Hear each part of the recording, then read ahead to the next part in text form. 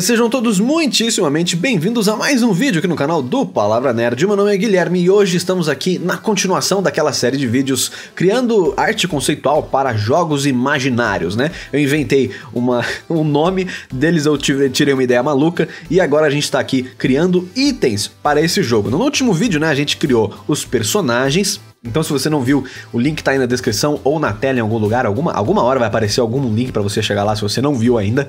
Mas se você viu, você tá ligado que a gente ia fazer itens. E eu vou seguir aqui usando a mesma técnica das silhuetas para tentar criar, criar alguns itens aqui para os nossos personagens. Eu primeiro pensei então em fazer três potinhos de poções. Uh, porque poção e jogo é uma coisa que anda muito junto, não é? E eu fiquei assim. Uh, eu, ao invés de tentar ser super mega original com o formato desses potes, eu, eu pensei que eu nunca desenhei poções antes, né? Eu só vi potinhos de poções em jogos, mas eu nunca desenhei um antes. Então, fazer algo genérico pode ser um bom primeiro passo, sabe? Eu acho que uma das mensagens que eu gostaria que vocês levassem com este vídeo aqui é não tenha medo do genérico quando você tá aprendendo, né? É sempre legal tentar inovar e tudo mais, mas uh, se você conseguir fazer um potinho de poção genérico bem feito, você já conseguiu ali um certo nível de, de sucesso, ao invés de tentar algo que ninguém nunca viu, um pote desconhecido. Então, eu, eu, joguei ali um pouco mais baixo a bola. Os personagens eu realmente tentei fazer algo como eu nunca havia visto na minha vida, né? Eu nunca vi nenhum desses morangos, né? Mas o pessoal uh, começou a reparar que tem muitas similaridades com alguns outros personagens, né? O do meio ali pode lembrar o Jax, né? O Jax, Jax do Mortal Kombat, porque ele tem braços metálicos, logo, lógico. E eu também, o comentário que ele parece o, o Genos do, do One Punch Man. E eu não tinha reparado e parece muito mesmo. Depois que eu fui reparar uma coisa, eu tava olhando para esse modelinho dele. E se você colocar um bico, ele vira o Crash. A proporção do corpo tá exata, até, até o cabelo parece, né? O cabelo de folha. Se você pegar aquela silhueta lá, acho que você consegue montar um Crash em cima desse, desse morango aí. Eu nunca, então, são várias coisas assim que estão dentro da gente, que a gente não repara, né? E que acabam saindo aí nesses momentos. O, o cara aí com roupa de ninja barra Kung Fu também são coisas que que tem a ver com o mundo real já, né? Então, uh, não se prenda nessa ideia de eu vou criar um personagem, portanto ele tem que ser algo único que ninguém nunca viu antes na história da Terra. Uh, tente não imitar um outro personagem, mas tente fazer coisas também que já de alguma forma existem. Braços robóticos existem, né? Uh, kimonos e espadas são coisas que existem. E potinhos de poções, igual o que a gente já viu em jogos, com tampinhas e tudo mais, já existem, mas o treino de você criar um desse, de fazer um do zero, é muito legal, mesmo que ele não seja, nossa, o cúmulo da criatividade.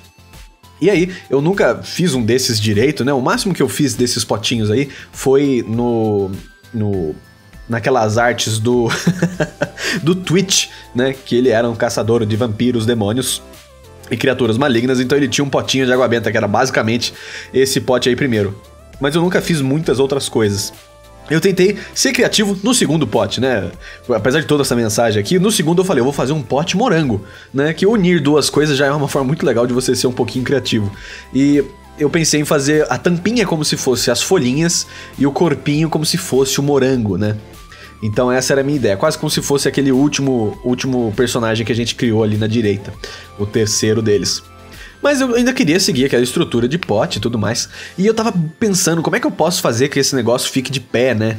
Ah, então eu, eu, pensei em criar uma pequena base para ele ali, mas talvez ah, num ícone de jogo que flutua assim na diagonal, né? Ah, nem precise dessa base. Mas eu, eu queria, imaginar que isso estava todos na mesa, né? De um, de um grande mago ou sábio ou alguma coisa assim, e que ele tinha como guardar esses itens e potes e ou você comprar numa lojinha dentro do jogo ou qualquer coisa assim, sabe? Imaginando que eles poderiam ficar de pé também, né? Afinal é um pote. Tem que ficar de pé, né? Se não ficar de pé, não.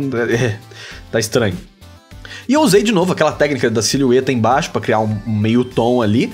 Usei um contorno mais escuro para definir o objeto e usei esses brilhos, esses highlights em branco para tentar dar um tchan. E funciona muito bem com vidro, né? Essas bolinhas brancas dão, dão um toque muito legal. Nesse daí, eu queria fazer algo bem geométrico, né? Nos dois primeiros eu usei formatos bem redondos, bem, bem lisos, né? E nesse último potinho, eu queria, quer saber, isso aqui eu vou fazer como se fosse um pote de vidro mesmo, duro, uh, reto, né? Com, com arestas mais rígidas. E eu sabia que eu ia ter ali algum desafio fazendo isso também, porque é diferente, né? Mas as rachuras estavam ali para me ajudar e eu basicamente fui riscando, riscando, riscando até o, que eu normalmente faria com cor, né? Eu, eu, comecei a fazer com rabiscos. E é, é uma outra coisa, acho que vale um sketch time também tentar apresentar algumas das coisas que eu faço com rachura. Mas eu, eu, eu tô fazendo o que eu acho que ficaria legal, né? Eu não tenho nenhuma grande técnica por trás disso daí, não. Então, três potinhos de poções, pelo menos eles estão, eles existem, né? Ainda a gente não tá trabalhando com cor no próxima, na, na próxima versão desse projeto aí, a gente já vai começar a trabalhar com cor. Eu imaginei que isso daí eram, tipo, rascunhos preliminares que foram aprovados aí pelo Comitê Guilhermístico de Criação de Jogos e agora eles vão partir para modelos com cor, né? Então eu quero fazer, a minha ideia é pelo menos fazer alguns desses itens em, em cor de verdade, assim, com a pintura talvez estilo técnica do dragão branco, albino, maluco, celestial né? Ou algo parecido com isso. Nesse eu coloquei então uma caveira, porque a maioria deles tinha alguma coisa interessante acontecendo, não era só um pote, né? O primeiro tinha uma estrela, o segundo tinha formato de morango, então já tava tudo certo, podia ser um, uma poção de morango, né? Quem que faz uma poção de morango? E o terceiro eu coloquei uma caveira só para ter alguma coisa do mal, como se fosse um pote de veneno, né? E faz muito sentido com veneno, porque é um pote já meio, meio duro, né? Meio malvado, assim, já eu imaginei que ia ficar legal.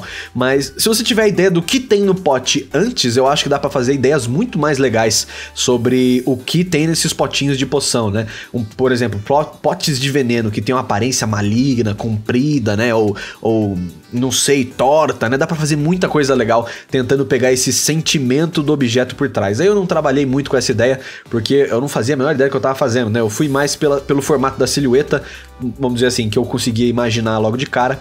Mas uh, eu fiz poucos itens, eu acho, né? Acho que dá pra gente fazer mais itens. É que eu não queria gastar muito tempo com cada etapa desse projeto. A ideia é ter alguns elementos, né? O suficiente para provar o conceito, né? Pelo menos para mim, de que isso daí talvez ficasse legal em um jogo, né? Essa, essa é a ideia. Esse era também para ser o pote de morango, mas então aquele símbolo ali, vocês já estão imaginando que é um moranguinho ali na fechadura, né?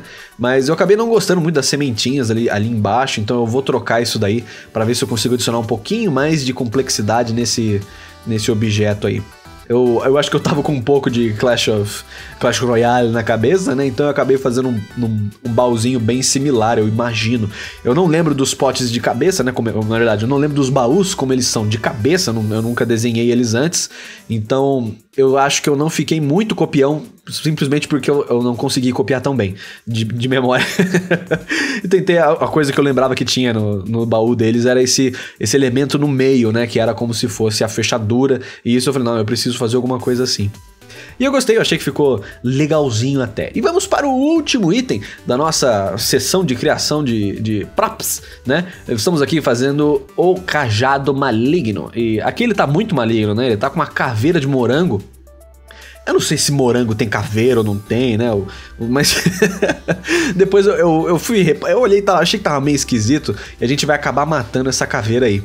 Mas não importa muito, né? O que eu queria fazer era tá, dar uma trabalhada nessa textura, vamos dizer assim, né? De madeira, né? Nesses vincos e, e coisas que se entrelaçam e, e juntam e grudam para fazer essa madeira. Eu vou colocar também alguns acessórios nela, nessa texturinha aí. Aquela faixinha cobrindo é meio que um é meio que uma trapaça já, né? Fazer aquela, aquele paninho, mas eu acho que muitas vezes ele fica bem legal.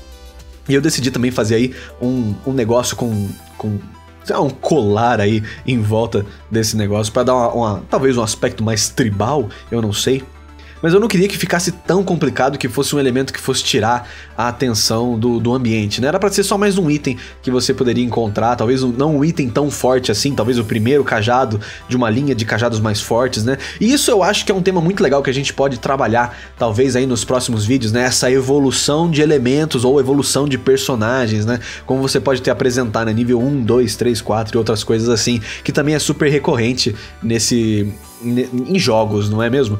Então eu acho que também pode ser um tema legal pra gente trabalhar num próximo vídeo aí.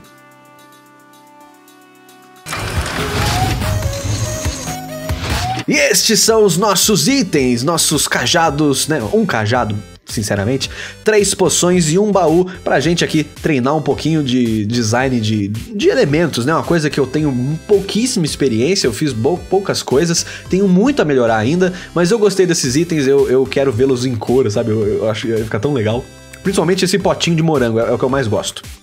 Então é isso, pessoal. Me diz aí no comentário qual você gostou mais ou se você queria ver alguma outra coisa. E se você tiver alguma sugestão para próximos vídeos, deixa aí também, que eu leio todos os comentários. Eu não consigo responder muitos, mas eu leio sempre, leio todos. É isso aí, galera. Muito obrigado pela sua presença aqui no canal do Palavra Nerd. Até a próxima. Valeu e falou!